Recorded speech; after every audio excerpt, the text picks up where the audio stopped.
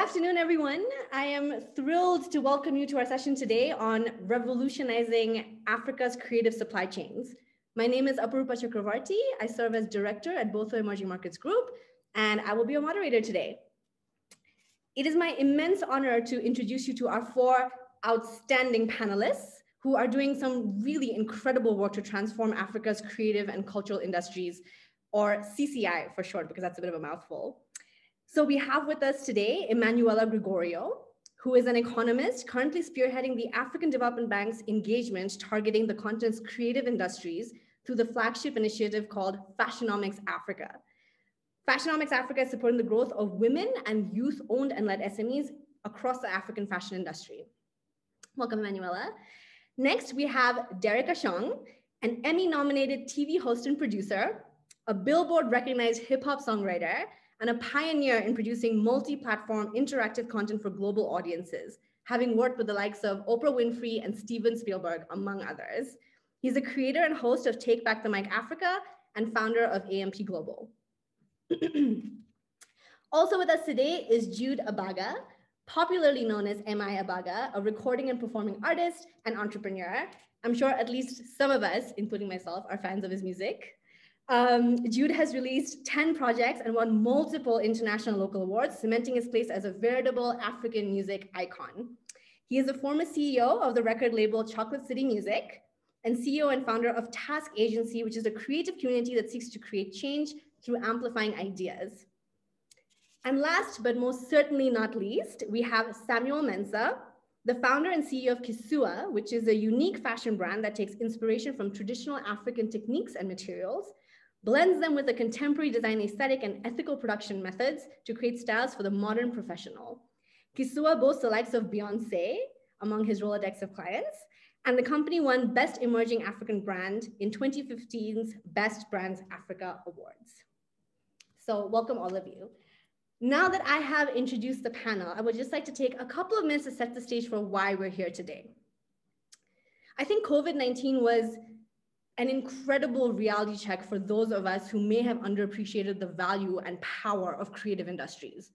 When the world was reeling from curfews and lockdowns and cessation of movements and restrictions on social gatherings, and unfortunately we're facing the same limitations as a second, as we're in the midst of the second wave, what did we turn to? We turned to movies and books and TV shows and art. And even aside from the intrinsic value of entertainment, let's talk about some numbers. Globally, the CCI industry earns revenues of over $2 trillion, employs over 29 million people. In North America, the CCI industry earns over $600 billion, employs close to 5 million people, and accounts for over 3% of the region's entire GDP. If you look at Asia Pacific, it's even bigger, $750 billion in revenue, over 13 million jobs, and again, 3% of the region's GDP. Now, come a little closer to home. Collectively, Africa and the Middle East, their CCI earns revenues of just $58 billion, employs a little over 2 million people, and accounts for just 1.1% of regional GDP.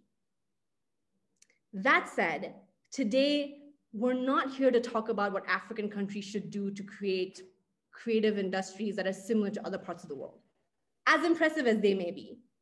Rather, we want to talk about what does the African CCI need to do to change the game completely and create an environment where every creative, whether you're a musician, a DJ, a producer, a designer, whoever, has the means and the opportunity to become a multi-million dollar business. And we want to talk about this from three angles access, engagement, and money.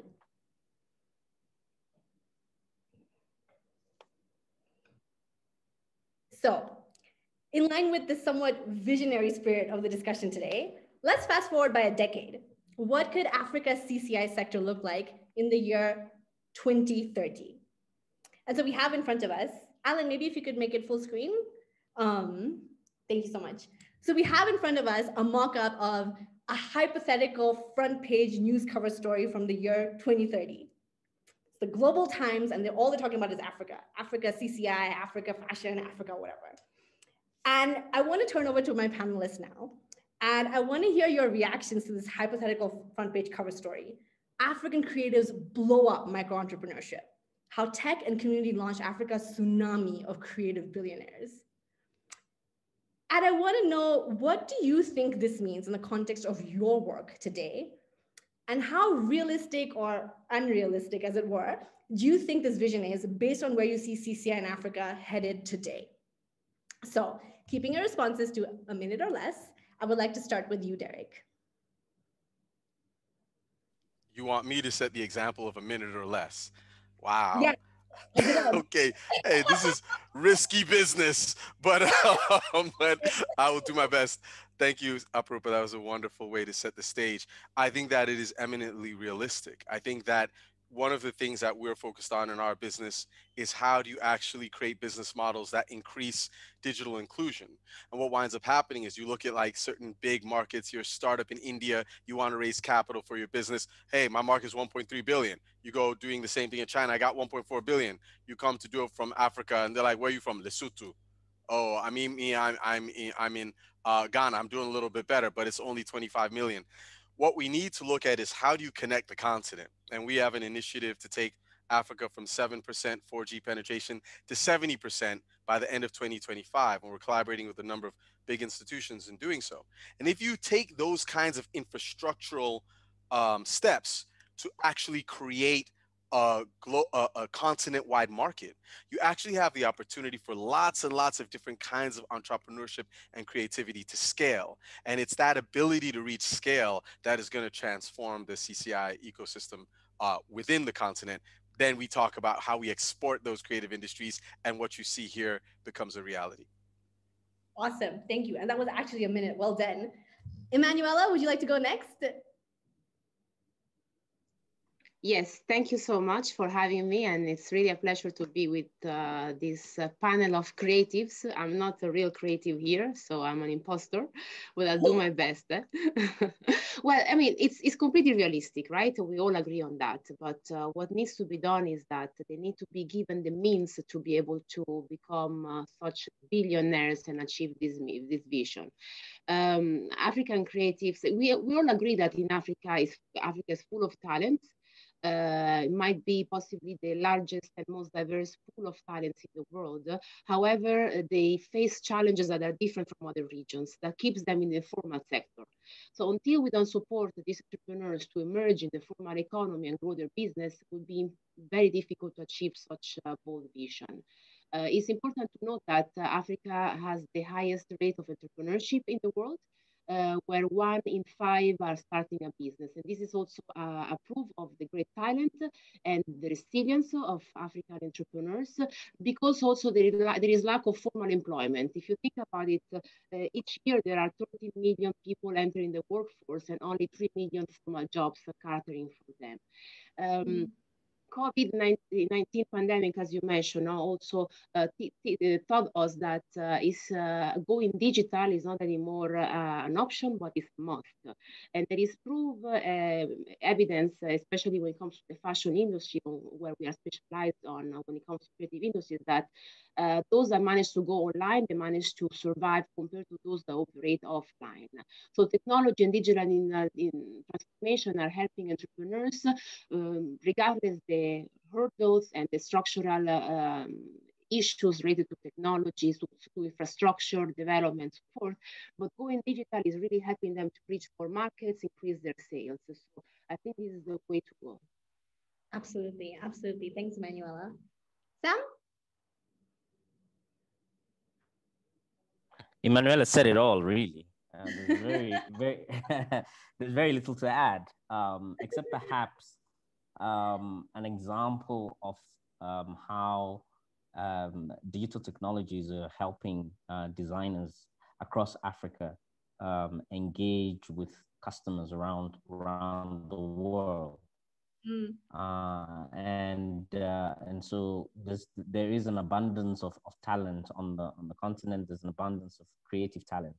Uh, the challenge that um, designers face uh, in the fashion industry is having market access, and then also having the capital to be able to fulfill um, the demand when, uh, when when it is there.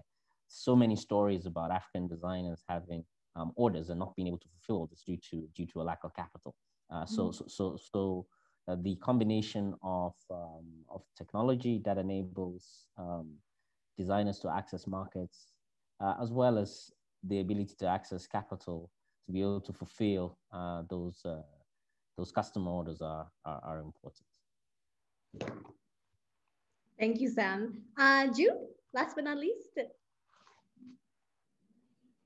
Um, yeah, I don't know if there's anything more to add. I think they've the other panelists have all spoken very well. Um, I will say that um, you know, in the frame of the question, to consider whether you know this future is realistic or unrealistic. I think that for Africa, uh, one way that entrepreneurs have to think about is that we have no choice uh, but to to do what it takes to get it, you know, to get Africa there, because the cost of not arriving there with with all the macroeconomic forces that are, you know, pressing on Africa with population growth, with uh, you, I mean, all those things. Um, our focus has to be to do what it takes to to get there, and and so within that context, I'm so excited to be here, and you know, I echo everything that the other panelists have said. Well, first of all, I think it's awesome that nobody was like, uh, that just sounds like crazy talk. So that's awesome. I'm really glad that no one took that conversation that direction. Um, and now that we sort of set this really, really exciting vision, I want to bring it a little bit closer back to 2020. And I want to start with our first theme for today, which is really around access. What are some of the what are some of the tectonic shifts that are that might already be underway on the continent or that still need to happen to to really sort of generate real access in this sector. And by access, I mean sort of across the gamut, right? So access to data, access to information, access to technology, platforms, markets, the whole, the whole spectrum. And so Sam, I'd like to start with you on this one. This headline that we see here, buy today, receive tomorrow, is really about your platform, Ananse. Can you tell us a little bit about what you're doing to change the face of e-commerce for African designers today? So we started off a few years ago um, with um, with our own fashion brand, and it was a it was a real learning experience. It was a baptism of fire. Um, we got to understand firsthand the challenges that uh, an African designer faces uh, taking a brand from the continent global. Um, and and and a brand that you know doesn't manufacture in in Asia, uh, but manufactures in Africa. So uh, you know, creating jobs, of employment opportunities on the continent, and then uh, and then serving local markets and serving international markets. Uh, and technology was a big part of how we were able to do this. Uh, we were able to sell using um, our own e-commerce platform to uh, customers all over the world. And so the natural evolution was okay, how do we take this thing that we have built for ourselves and how do we scale that out to enable many, many more uh, talented uh, African designers to do business with, with the rest of the world? And fundamentally, uh, what we see is uh, we see that there's a, there's a market failure. The market has failed in the sense that there is strong demand for African creative talent. Uh, you know, you just need to look at um, celebrities all over the world, magazines, fashion magazines featuring African designers, African designers um, showing on some of the major stages, uh, fashion show platforms, New York Fashion Week, etc., around the world. Um, and yet we're not, we haven't yet translated that into commercial um, revenue, money in the pocket for, for designers. And that's where, you know, our, our platform comes in is that uh, we solve a lot of the problems that make the market fail. Um, the problems around, around payments, uh, the problems around, we all know how difficult logistics can be in Africa. You know, how do you get um, an item from one part of Africa to another part of Africa or to another part of the world. And then there's also um, the, the, the marketing of Africa um, and the, the marketing of products that are made in Africa, the, the visual presentation, um, mm. the building uh, reputation for making good quality products that is, that is well presented. So these are some of the um, challenges that you know we encountered ourselves as a business with our own fashion business and through our platform, um, we're bringing some of these solutions to uh, designers across Africa. That's awesome. That's awesome. It's really like a, it's a super multifaceted approach. It's it's amazing. And actually, to your point about some of these sort of more more structural challenges.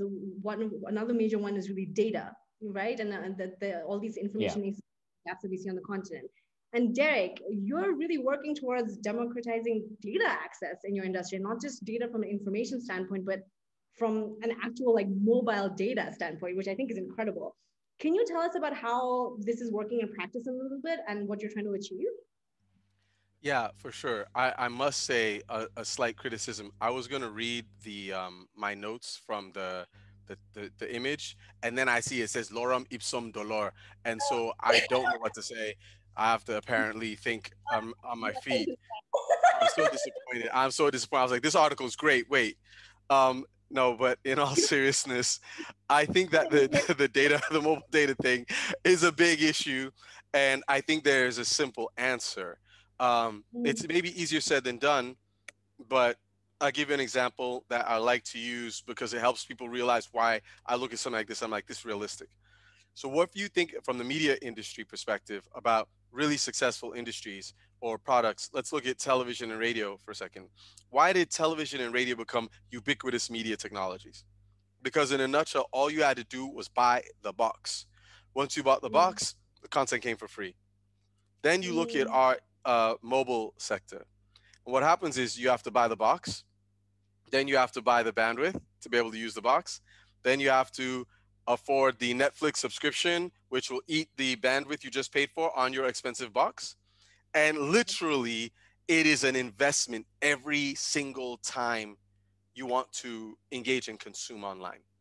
And it's mm-hmm. highly problematic. Um, I feel it very deeply because I was living in Hollywood and I chose to move back to the continent. And I'm just thinking about even my, I chose to get like a regular sort of structure so I could see how my consumer will feel. And it's mm. absurd how many times I'm doing something and then I've run out of data. So what we need to do is literally build an ad supported data model just like what mm. has been done for television, just like what's been done for radio, just like what has enabled these technologies to reach billions of people around the world. In Africa, we have great mobile penetration, but it's 2G, 3G. To get into rich media consumption, which enables us to have more economic value generation, we have to make it affordable for people to do that. And the the trick is people will say, well, it's a chicken and the egg because people don't have enough free cash to really be able to spend to support, you know, these enterprises that are going to hire more people and pay them better and give them more disposable income. I'm like, if you increase the access, the creators, the purveyors of those businesses, those services, those goods, etc., will all benefit, and so will the local and market. So our primary focus uh, in terms of how we impact and create the market around what we do is to mm-hmm. build that ad-supported data model and to scale it continent-wide. That's amazing. That's awesome. That's really cool. Um, Jude, you work with creatives directly, and I would love to understand a little bit more about how is task agency providing access today in a way that media agencies on the content continent may not be doing so necessarily now? Um, thank you. Um, so we have a background, just to explain, I have a background in the entertainment industry, come from the music business. And uh, the problem that we identified was that um, we were always spoken to as just creatives, you know, at the end of marketing plan or what, at the end of the come in and say, this is your role. We want you to hold this placard or read this script. And um, when, when, when we started Task, our idea was, our understanding was that the job of marketing today is really about leveraging culture and that um, you're sort of fighting this part of our evolutionary inheritance that wants to just do things that have been successful in the past. And on many levels, you know you're fighting an industry that's trying to recreate you know success is sort of the Mad Men glory days of advertising where you could interrupt people or you could just spend big um, but so many things have changed right one of those is that the tools of the tools of influence today now almost almost completely are on these platforms that users can use directly and then become marketing firms themselves right? And so as an agency we, we see ourselves as as as as organizations to come and sit in the cockpit and see see what's happening in culture and then trying to guide them to have an open conversation. And that's, what that's what we say. We want you to have an open conversation with culture. And an open conversation means that you listen and it means that you take feedback. You take feedback about, your product, you take feedback about your messaging, you take, take feedback about your, your company's values. Um, and, and really for us, that's, that's what we see now. It, it sounds easier. I mean, I, I, borrowing from what uh, Derek said, sometimes these things are easy to say, but hard to do because a lot of organizations, a lot of corporate companies are sitting in a place where they, we've done this thing right for, for many years. But um, whether it's just looking at technology and see how that's changing people or watching how Gen Z and millennials have have you know different patterns of behavior, you can tell that the world is changing. And at Task, we really pride ourselves at being able to guide organizations to sit and have truly open and honest conversation with culture. You know, that that to us is what what sustainable access looks like. That's that's awesome. I, I love I love this thing that you said about the job of marketing today is really about leveraging culture. I think I, I think that's bang on the money. And what I love so far about all the things that you've said are you've you've really covered the spectrum and, and by you i mean all three of you who've spoken so far of, of, the the hard and the soft elements of all of the things that play over here whether it's logistics whether it's data whether it's culture and these things it's really the interplay of all of these things that, that create an industry especially one such as the creative industry and along those lines going a little bit more to the to the harder elements of it um, Emanuela, I think one of the, from my understanding, one of the key things that Fashionomics um, AFDB Fashionomics is trying to address is this thing around market intelligence, right? So the fashion industry on the continent is a buzz with activity, but for investors, especially who are trying to sort of understand the space and, and get a sense of like where where these tangible opportunities are, sometimes that information and that market intelligence is really not always apparent or visible in a way that's helpful for them. What are some of the ways in which Fashionomics and AFDB in general is trying to address some of these gaps around market intel? Um, so you know, mm, market intelligence and access to relevant information is one of the components of the program. No, uh, through the through, Fashionomics Africa, we are trying to really uh, recreate uh, the ecosystem for the fashion entrepreneurs to, to thrive and grow, their businesses. And we do this through uh, access to finance, access to relevant information, access to capacity building programs, uh, mentorship, networking, and access to markets. And uh, when it comes to the market intelligence and access to data, we have developed an online platform that you can find online and you can register for free. Uh, called Fashionomics Africa Digital Marketplace and also a mobile app that you can download. Um, where we provide access to this information. So uh, we create databases of uh, entrepreneurs, suppliers, retailers, wholesalers, financiers, donors, all those stakeholders interested in this uh, in this uh, industry. Um, we also develop uh, uh, online surveys and market studies to generate primary data about the industry because as you know there is very little data available about the fashion industry we can apply the same to other subsectors of the creative industry so of which i'm not an expert but my colleagues can uh, can agree with me. Um, but and also I would like to raise something that I think we all think we are all aware that uh, even though there is not enough data to show the potential of the fashion industry as an economic um, economic sector that brings uh, you know uh, positive spillovers to African economies in terms of GDP growth and job creation, uh, we are all aware of it. You know, if you think about African uh, families they all uh, serve themselves through the services of local uh, tailors to produce their uh, beautiful African dresses and the traditional ones as well. Uh, we know that you have to go through several interactions before you achieve the final result, and sometimes uh, you might not get there. And I think we have all experienced that, especially uh, us living on the continent. And uh, so there is also a lack of standardization, a lack of uh, skills, also technical skills that needs to be improved together with business skills as well, uh, which are completely different skills, right? Uh, you might have a lot of talent, but not able to run a profitable business. And also this is also what we're trying to do, to, to support entrepreneurs to develop their business skills. Um, at the same time, another reality is that there is uh, uh, financiers and investors. They don't see uh, these uh, these businesses as credible because they lack structure, they lack economic assets, the seasonality of their businesses, uh, unstable cash flows, you name it. Which uh, again, lack of data don't help them to develop strategic uh, uh, business plans, but also investors, they don't see the return on investment. So if you give investors, you know, manageable risks and a clear uh, return on investments, they for sure they will come and invest in these industries but there is also this uh, um, data gap that uh, you know doesn't allow them to assess the risk towards them. At the same time, the financial intermediaries they don't understand these businesses again because they don't see them as uh, credible and viable um, because also they don't they lack sectorial knowledge. Now sometimes financial intermediaries they consider SMEs as uh, this as the same bulk of uh, of entities when you have to have a sectorial knowledge of each of them because they all face uh, different issues. Uh, but also because uh, they lack uh, analytical and suitable risk management and mitigation frameworks for them. So also we work with financial institutions to develop their capacity through technical assistance, but also we support entrepreneurs to develop their, uh, you know, business and financial acumen together with other skills, working with other partners. And I will come back to more in specific on uh, how we do it later on.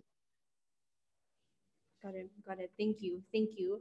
Um, we've talked a little bit about access. Now let's talk a bit about engagement. So you have access and then what?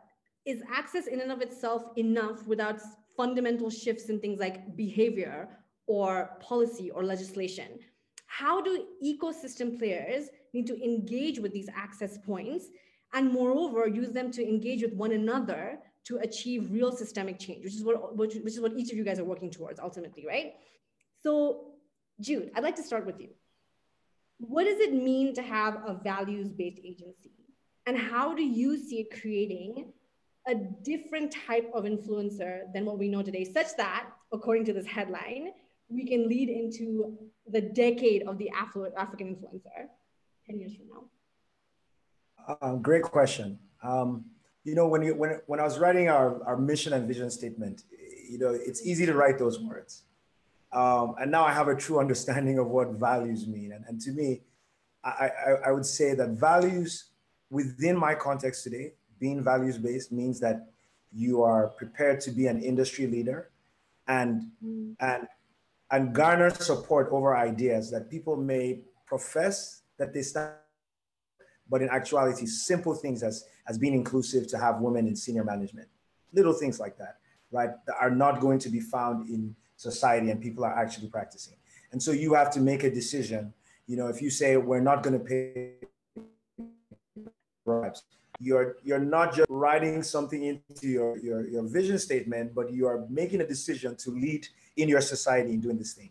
And and, and with that context, um, I would say that one of the biggest things that that we have come to to deal with is the proper valuation of African art, of African creativity. Um, I would say that we psychologically have devalued it over years of you know um, uh, um, uh, being told that things that are made on the continent aren't as valuable as things made in the West. And that that is one of the core values that as an organization, when you talk to organizations, you're telling them this thing is amazing and this thing is worth as more as much as as as the same product and maybe even more you know the, anywhere in the world and uh, in terms of ask, answering the question about um, the kind kind of influence that in, in 10 years and 20 years that we want to we want to see on the continent. You know, I, as an as, a, as an agency, I feel today that we don't really have control over where culture is going to go. Like we're sort of observers in the flow, and and and our access point to changing things is just to create success and have people see that this way of doing things is successful, and let's let's do it this way. And so I, I sort of think about the music business and how it went from being big studios to being now anyone can make a song on your laptop. And how technology sort of drove you know I, I, see derek smiling but like now anyone anywhere in the world can make a song put it on soundcloud you know uh, hit up uh, uh, derek's platform and, and voila they're, they're huge. Um, and i say that to say that i think that that where we want to go where we want to land is where influencers across the continent are truly powerful, are truly are truly you know truly have a knowledge of the technology, also have the understanding of, of what it means to have a corporate relationship, you know, with the corporate world and to, to keep your deadlines, to, to, you know, to hit those KPIs. And um, we, we, we're trying to, in everything we do, trying to make sure that the, the, the people on the corporate side respect what the African talents and creatives are doing and value it and pay for it properly. And also tell the creatives, hey, look, there's the world is open to you. Like there's in the future, there's going to be no more record labels in this space. There's going to be no more, you know, big studios that are going to be like a gateway. But when you get there, still make great music. I, I, I don't know if you know the analogy makes the metaphor makes sense, but still make great music, still do great work, still use your influence, you know, for not just to make profit, but but to to better our society and to move Africa forward. Yeah, absolutely. So, so it actually sounds like what you from what you're saying that that in this case, value exists at two levels. Values in terms of like an ethos and in terms of an internalization of like this is this is who we are and we take pride in this and that this is how we're going to shape the narrative and the perception around it. And value also means value like what is this worth? Um and the coexistence in terms of engagement absolutely. Any african sorry i know that you're going to the next question but any african creative will tell you that that from a values on the values platform, as you sort of that the first thing that will be hit is what you and your art are worth, and you're gonna have to have some some sort of internal confidence and strength to be able to say, I'm not gonna take that deal. I'm not gonna let you devalue me. And that's now on the the value the value level, but it really is connected to a higher value, you know, values, you know, you say. So you're absolutely spot on there. Yep, absolutely. No, that, no, that's awesome. And I think I think Sam, you're you're also sort of facing a similar a similar type of um, issue, I, I, guess, because you also are trying to onboard a lot of African designers that may not have a level of visibility or I mean, dare I even say respect, even though they're doing like amazing work where they are, but they don't have the kind of platform that they need to be able to showcase that work that that work in a way that makes sense to external audiences. And you're creating this you know, in some ways, an end-to-end platform for the textile and, and fashion industry that's, you know, that covers everything from manufacturing to retail. But it's one thing to have the platform. Is it enough to just have a platform? What do designers need to do themselves that they may not necessarily be doing now that's going to help them optimize that platform for what it's supposed to help them achieve? Great. Um, thanks. Thanks for the question. So actually, um, the designers are amazing, and um, they are young, they're vibrant, they're dynamic, um, and and they have an appetite for for for technology, for embracing technology to solve you know their everyday problems and help um, them make, make make a living. Actually, the biggest challenge that I see is not on the part of designers. It's not on the part of the users of the of um, of uh, of the platform. So I was listening to when Jude is talking about music and you know how effectively technology has democratized the distribution of music. Um, that has happened to some extent with fashion, but not to the same extent. And there's a very simple reason for that. So, so I love the internet. I, I mean, I think the internet is the uh, uh, is probably my favorite um, fashion invention of the last 10, 10 years uh, it allows the you know our equivalent um, of putting your music on SoundCloud will be designing something, taking a picture of it, and putting it on Instagram for the world to see. The difference between music as a intangible product that can be sold digitally and and fashion accessories and creative products is that these are actually physical products that need to get from point A to point B. Um, And so you know, you look at Nigeria, for example, you see the amazing talent that has come out of Nigeria in the music industry, right? Mm-hmm. The fashion designers in Nigeria are just as talented as the contemporaries in music.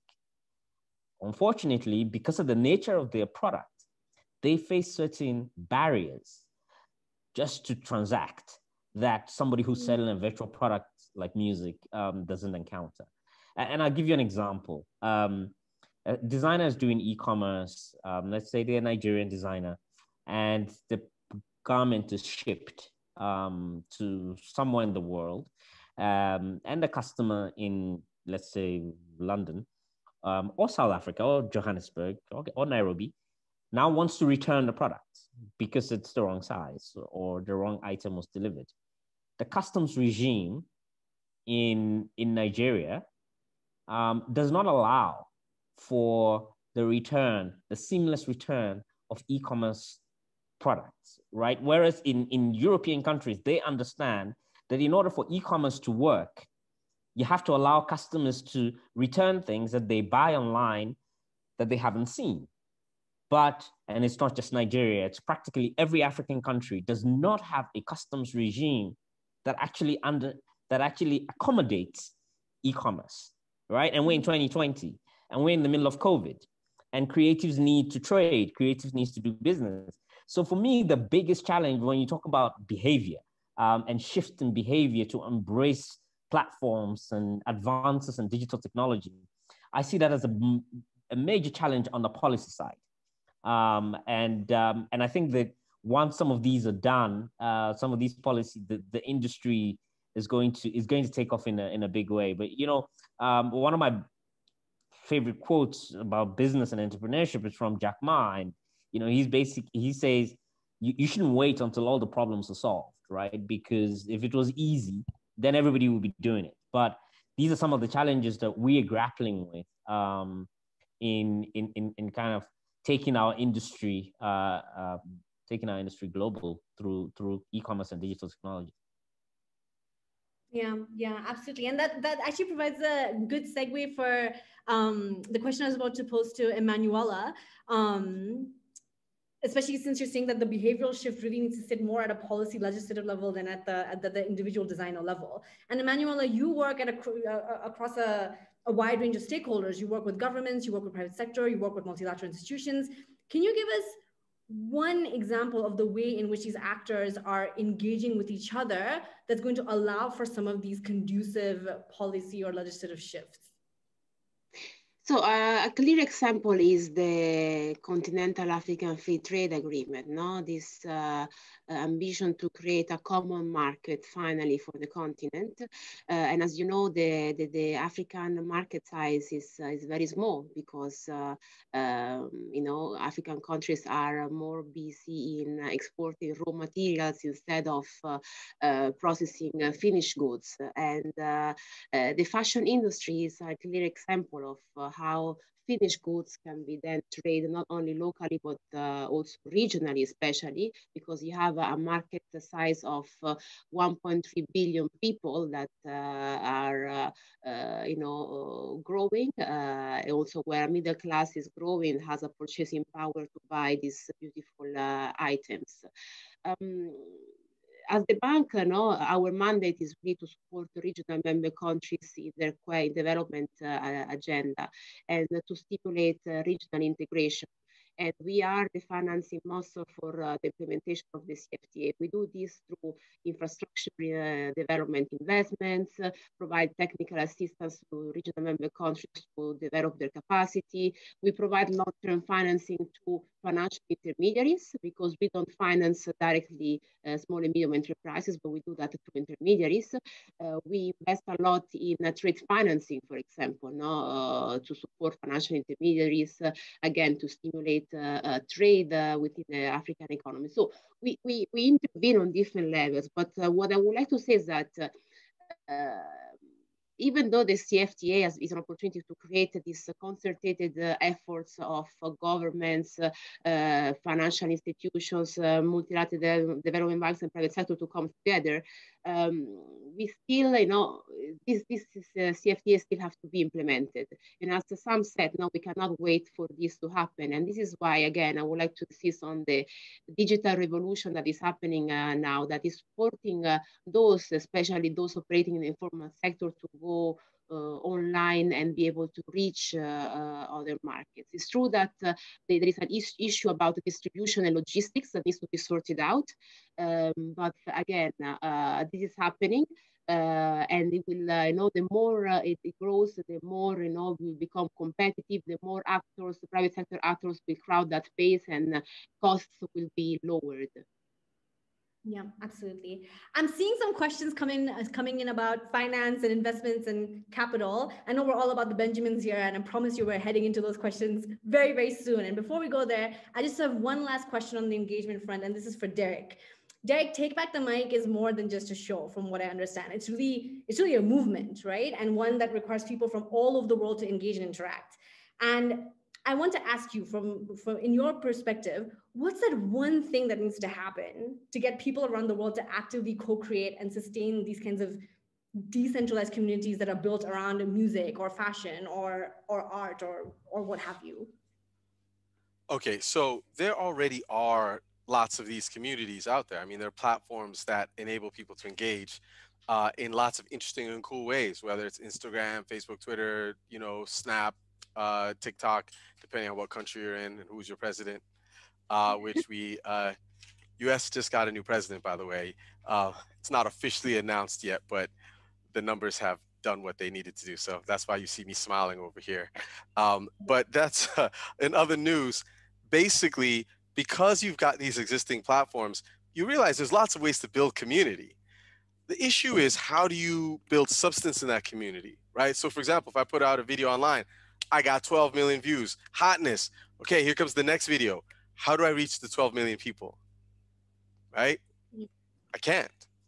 Facebook, YouTube, Instagram, they'll tell you me how many people watch. They won't tell me who they are. And so our interest is how do you build a model where you have actually deeper data, more um, powerful, more influential data that at the same time represent or respects the values of the consumer, the privacy of the consumer, not simply turning them into uh, a product that you could sell to third party uh, advertiser or whatnot, but rather let their data be at the center of their world and build relationships with them and enable content creators and content consumers to build direct relationships with each other that's what Take Back the Mic is about on a technical level. It literally is an architecture for how do you have more effective data, uh, uh, and by that I mean analytics in this context, as sharing of analytics and information and recognition of the people who make movements happen. On a conceptual level, though, when we say it's a movement, it really is about, you know, when I, I love when Emma was talking about values on the one hand, there's that element of value and perceived value. And we run into the issue of you see Africa and you assume it must be less than. What if it's the mm. best? I mean, we already come in with a discount because of people's perception of what you are, what you bring, who you are. Whether you're an artist or an entrepreneur, you're an investment banker, they see your name. Here comes the discount. So that's one issue we have to address. We need to deal with how do we improve the perceived value of all things African, right? Um, but then the other thing is on a values perspective, how do you build a business that really has the ability to impact people? And that's where this movement component comes in, where we're thinking, okay, at the end of the day, there's an entire generation that wants to be heard and heard in authentic ways and be centered in the value that they create and benefit from it.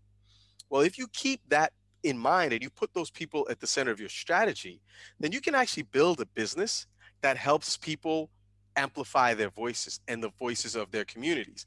And that is what enables you to now start talking about scale worldwide. It's not just here's a really talented kid in Ibadan who's hoping to get heard around the world. It's like, oh no, there are simple tools that the entire community to help that young person be seen across Nigeria, across West Africa, across the continent, across the world. And that is what we mean by movement building. It starts with knowing your audience and then building mm-hmm. a relationship with them. Yeah, yeah, yeah, absolutely. Speaking of knowing my audience, um, before I go into our third theme, which is around finance, um, if audience members, I would like to leave a little bit of time towards the end um, for Q&A. So if audience members have any burning questions for our panelists, please feel free to use the Q&A box and we will we will field those we will field those questions towards the end. So there's just wanted to put that out there. So money let's talk about money we've talked about access we talked about engagement we've talking we've talked about structural issues you know build, building these incredible communities how does this all generate money and so Emanuela, I'd like to start with you, and I'm, I'm being time checked, guys. So we have we, do, we only have a few minutes to go. So if you could limit your responses to maybe a minute, sorry. so I'm looking at this headline, AFCFTA is real MVP. CCI sector now 35% of intra-African trade, blown up. In what ways is the African Development Bank deploying funds strategically to unlock greater intra-African trade for textiles and apparel, or maybe even the CCI space in general? So as I mentioned before, no, this is really the leitmotif of uh, our work. We uh, invest in the whole ecosystem that uh, uh supports the creation of regional integration and a common market for the continent. And we do this in various ways. So we provide, uh, uh, you know, we support through project finance our regional member countries or private sector um, entities that they intend to expand or uh, set up a new production facilities in African countries. Uh, an example of our public uh, sector investments is in Madagascar when we invested 10 million in the textile and clothing industry supported the government to develop this industry because it's Madagascar is one of the uh, top 10 uh, uh export-oriented, apparel export-oriented uh, countries. Um, we are invested in, uh, in 40 private equity funds that also targets cultural creative industries and textile sector. Uh, I'm thinking of the Alitheia investment fund that also Sam uh, knows very well because it's a, it's a fund that's been created by the bank, uh, uh the anchor investor, we, with 12.5 million and through which we are mobilized uh, up to 80 million uh, to be invested in SMEs operating in various sectors, including creative and cultural industries, with a focus on women-owned and led businesses this is the only the, the only existing uh, fund uh, in the on the on the continent that is managed by women fund managers. So just to tell you what's all the innovation that we put into our work. Um, our uh, initiative also now we are uh, partnering with the World Bank uh, through the Women Entrepreneurship Finance Initiative. Uh, we are working with the Flexi Bank also that they have recently launched the creative uh, uh, program not to support creative entrepreneurs and we are funding members of the Flexi Bank. we have helped to to set up this uh, bank focusing on trade finance mainly. Uh, so you see, uh, we really work with various partners, development partners, as well as other regional development banks, but also with the private sector Uh, to the private sector. Now, for example, we work with Google, with Facebook, uh, uh, with uh, Parsons School of Fashion in New York, uh, with uh, UN agencies uh, in developing the capacity of the fashion entrepreneurs when it comes to ethical sourcing, circular economy, digital tools that can help them to boost their their business. Because we don't intend to do this by ourselves because we don't have the capacity for this. But you see, just to, I'm saying this because to give you the idea how we work with different uh, strategic public and private sector stakeholders to support the, the, the, the build up of an ecosystem for them to thrive. Yeah. Sorry yeah. for uh, exceeding the one minute. It's okay. You're forgiven. It was a good answer. Derek, what's it going to take AMP Global to become the first African media tech firm to top the Shanghai Stock Exchange in 2030 or sooner? well, well, we're launching uh, a new format uh, called the Mic Africa. It's part travel show, part music competition show, fully interactive. The audience casts and curate it. It will be the first format that is born in Africa, exported to the world. So our X factor, so to speak. Uh, that goes live on December 6th uh, with an audience of 100 million or reach initially of 100 million people. Then we will launch the Mic India and the Mic Asia next year, uh, as well as the second season of the Mic Africa we are going to acquire 100 million users in the next 12 months through these digital services. And the beauty of what the technology does is it enables our media partners, our distributors, to actually be inside of the platform and leverage this powerful tool sets that all our little, you know, our PhD computer scientists from Google have built. And what happens is once they've realized the capability, the capacity of it, and then through our social initiatives, we're getting more people online now you have this incredible marketplace where African creatives and creators and media outlets are finding a place where they can all exchange. And by doing so, we leverage our full 1.3 billion dollar billion person potential as well as marketing to the rest of the world. And that's how we become a very big public company that hopefully is a catalyst for more creativity across the continent. That's awesome. I hope everyone caught that date, December 6th, guys. Stay tuned. Um, Sam, we've seen the challenges that e-commerce players players on the continent especially have on the path to profitability. I'm not going to name any names, but we know we, we know who they are. what makes Anansi difference? In a minute or less. Uh, yeah. Okay. so so so real quick, uh, two things. Um, first, we run an inventory light model, right? So one of the things that can be really expensive about e- about e-commerce is uh, sitting on all that inventory and waiting for it to sell. Um, so where you play the role of facilitator, market facilitator, uh, basically the grease in the engine that makes the different parts of the engine move. That's a lower cost model than what some of the other players uh, you referred to have um, have have have, uh, have implemented. Then the mm. other major um, the other major part of uh, of e-commerce is usually your marketing costs, your cost of customer acquisition, uh, and that has been falling actually quite a bit because of COVID.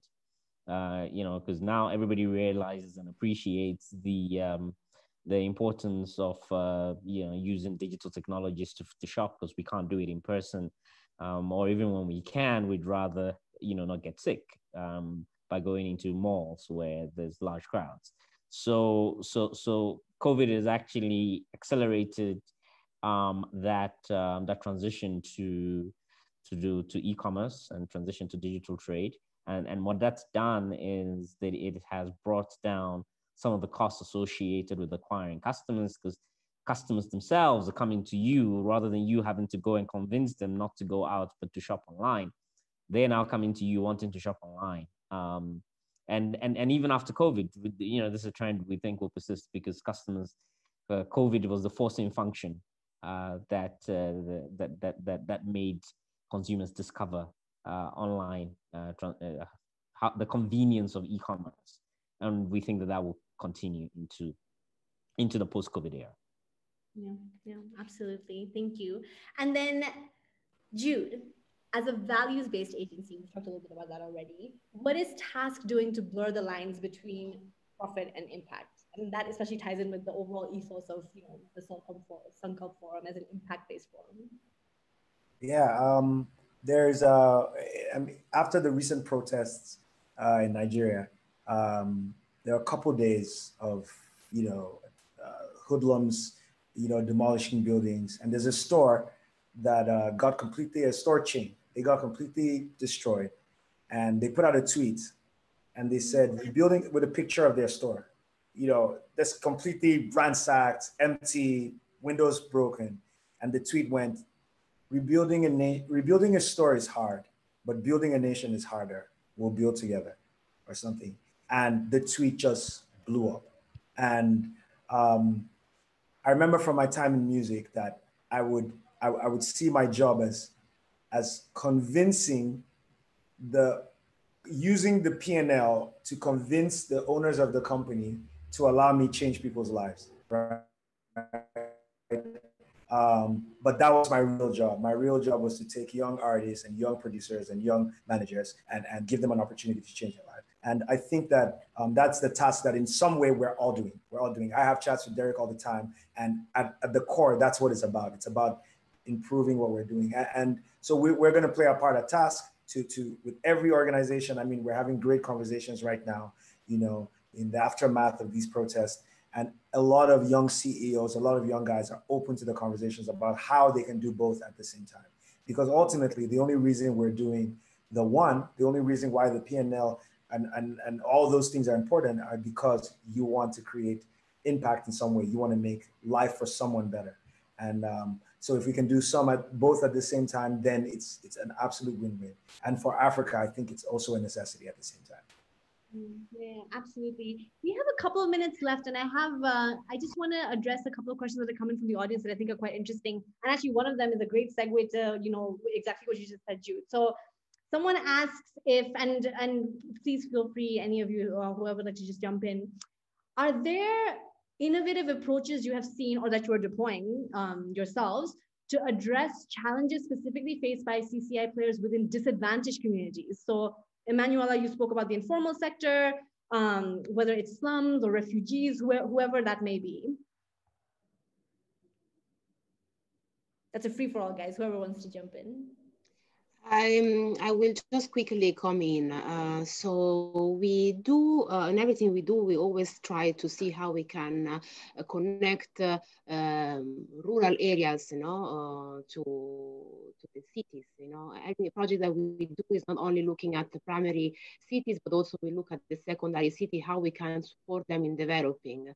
Uh, and also when it comes to fashionomics, we collaborate with uh, the likes of the Ethical Fashion Initiative that they really work in rural areas with uh, uh, cotton farmers to improve their production and so forth. So we don't do it ourselves, but we work with those uh, partners that have the competitive advantage to do so. Yeah, yeah, yeah, absolutely. Apropos, can I make a comment? Of course. So this question that just came up from Mercy, how do financiers ensure return uh, ROI, especially from up and coming creatives, especially in nascent markets? You know, I'm not going to give you the successful example. Well, maybe I actually I will. I'll give you a personal example. But I think part of what has to happen is you have to have people investing in each other so Drew just said, hey, his job was to take money from that P&L to invest in the next generation of creatives. And that is exactly what more of us need to be doing. We need to get away from the big man syndrome, like me, I have arrived. Who are you? That's not going to work for our generation, right? In order for us to really succeed and not everybody trying to get a small piece of a shrinking pie, but to have a big pie. So even if I have a smaller percentage of it, it's still a fatter piece. We need to collectively get in the kitchen and make this thing happen. I'll give you an mm-hmm. example of how we see this. We just took a young girl um, from Durban and put her on a billboard in Times Square, New York. To my mm-hmm. knowledge, it's the first time that there's ever been a billboard for an African uh, TV series in Times Square. MI blasted it out to all of his networks, but so did top media companies in Ghana and in Nigeria and in Kenya. We did it together. We told a story together amplifying this concept and the face of one young woman. We've got 17 other young people who are also going to be pushed forward in various creative ways. I think there's a, always an oper- a way that we think about what needs to come from the outside. But in order to get ROI from your investment, you really need to be focused on risk mitigation. And we don't need outside resources in order to do that. We need to leverage the power we already have. If the risk is your creative will never be seen, well, who are the creatives with voices? Let's take that risk out of the factor. If the risk is we don't know how to monetize, well, who's already got a supply chain that is monetizing? Let's take that risk out of the equation. And if you do that by leveraging the successes that people are having in their various sectors, all of a sudden, the possibility of getting ROI from CCI in Africa looks much, much more realistic. Yeah, yeah, yeah. Uh, just uh, Go ahead, wanted Sam. to add to the sorry, real quick. I just wanted to add to the the the comment about um, about impact and um, and vulnerable communities. Uh, mm. You know, we have this youth bulge in Africa, which um, in many respects is an, is an asset. But at the same time, a lot of young Africans um, struggle to find jobs. Um, however, many of these young at, uh, Africans are talented you know they have skills they can make things with their hands things that they can then sell to to make a living. Um, and, and and a lot of these are also are also women. Um, and with with with covid we've seen um, you know an even greater rise in unemployment across across africa as economies have had to shut down to to contain the spread of the virus. So uh, platforms like ours make it a real point to work with young people, um, disaffected young people, disaffected uh, women. But but these are people who have who have skills, who are talented, who will make a beautiful hat that Beyonce would wear, um, or make a beautiful pair of shoes um, that will you know that could be sold anywhere in the world. They can make beautiful things with their hands, uh, and and we just need to empower them with the platforms so that they can trade. Um, and, and, and, and so, yes, that is a very important point that, you know, we do business to, to do good, to have an impact, not just to make money. Yeah, 100%, 100%. Would, would anyone else like to chime in on either Mercy's question or the, the question around impact before we wrap up?